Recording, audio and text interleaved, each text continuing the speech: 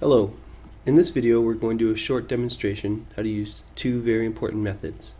And those methods are the substring methods. Now the reason why I say methods and not method is because substring is an overload method, meaning that there is in fact multiple methods and Java will know which one to call based on the parameters that are passed.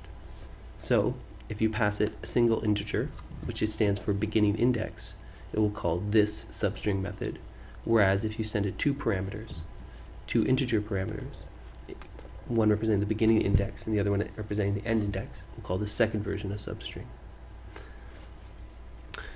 So again, a nice thing about this documentation, and I've just simply I've pulled up the online string documentation, is that if I click on the actual name of the method, it pops me down to a nice example. So what we can see here in this example is that if I call the substring method, which takes a single integer parameter, using the word unhappy, and I pass the integer 2, it returns happy. What substring does is it takes a component of the string. So this substring method in particular, starting from that specific specified index, will return everything to the right of it. So in this case, if we start, look at unhappy, u would be index 0, n would be index 1, and happy would be index 2. So starting from index 2, it will turn everything past that.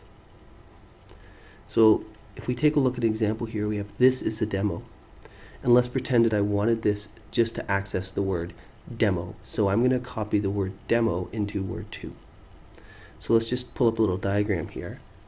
So here's my, my memory diagram. And again, we can write in the ind indexes for this word. So it's 0, 1, 2, 3. The space would be 4. I've shown that with the little notation there.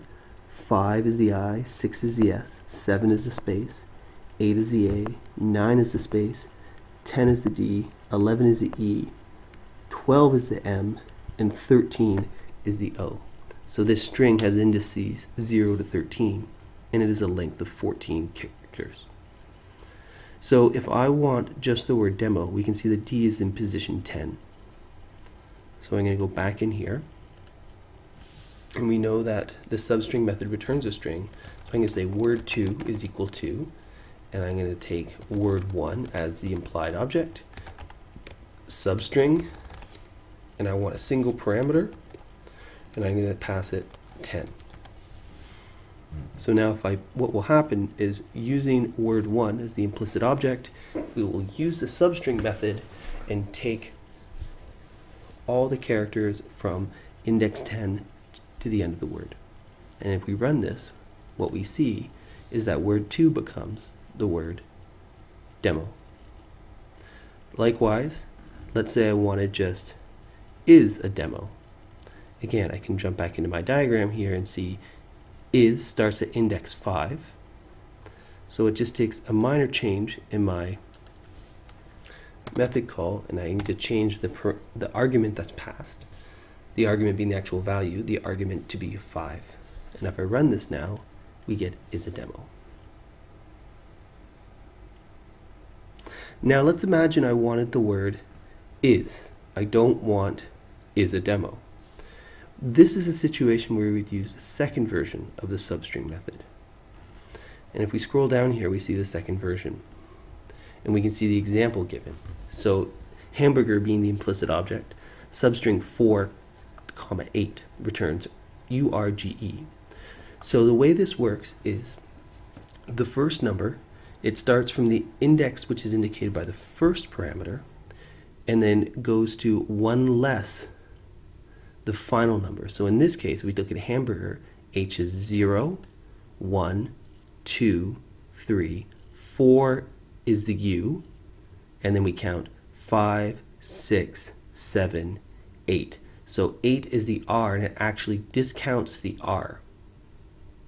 So if we apply this now to our example here, if I wanted just the word is, we see it starts at 5, and then I go 6 and I want index 6 so I have to go one past that to 7 so this case if I call the substring method now and I pass it 5 comma 7 and I run this we'll get word 2 is is.